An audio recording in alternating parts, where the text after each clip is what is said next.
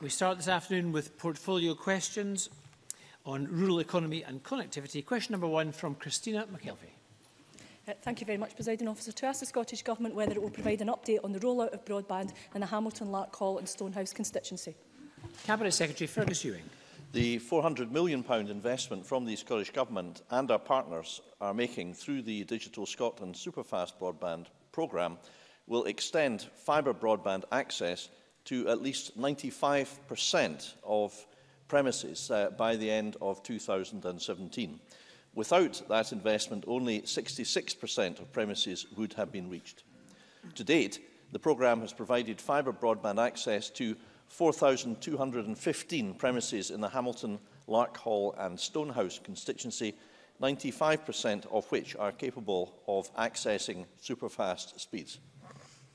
Christina McKelvey. Uh, can, I, can I welcome that? And I'm sure the 4,215 premises in, in my constituency will welcome that too.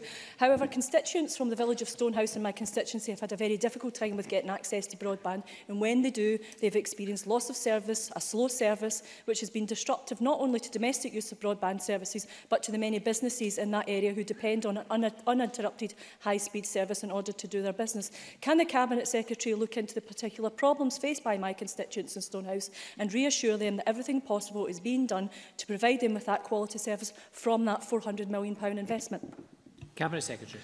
Uh, yes, I'm happy to provide Ms McKelvey with that assurance uh, and, and I'm uh, happy to receive more details from her if she so wishes. Um, she will appreciate, of course, as we all do, that telecoms and telephony is a reserved responsibility for the UK government.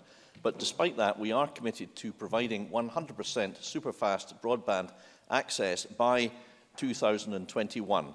Uh, and uh, I'm obviously aware that, uh, the BT are handling many of these cases. I'm very happy to take up any particular case uh, with Ms McKelvey, who is uh, obviously working hard for her constituents on this serious matter. Question number two, Douglas Ross.